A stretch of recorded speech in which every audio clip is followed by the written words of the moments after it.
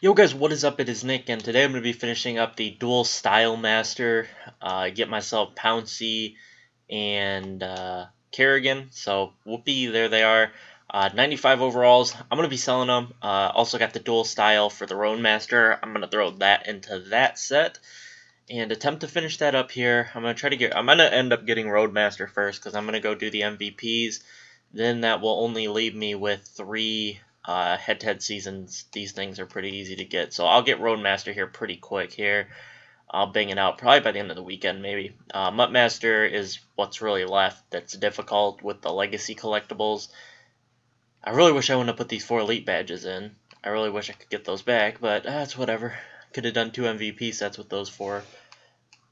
But it's, it's, it's whatever. But let's take a look at the price of the Kerrigan and the Pouncey, because I'm going to be selling both of them.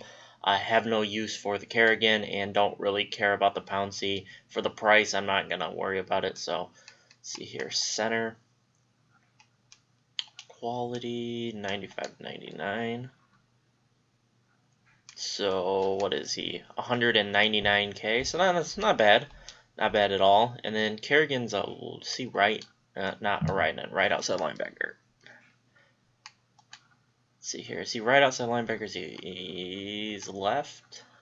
He's left. I forgot what side he was on. So what is he going for? 148k. It's not bad. That'll put a nice little like 300k into my pocket. So I'll definitely take that. Not half bad. So I hope you guys enjoyed the video. Drop a like if you did. Subscribe if you haven't. And I'll catch you guys in my next video. Peace out, guys.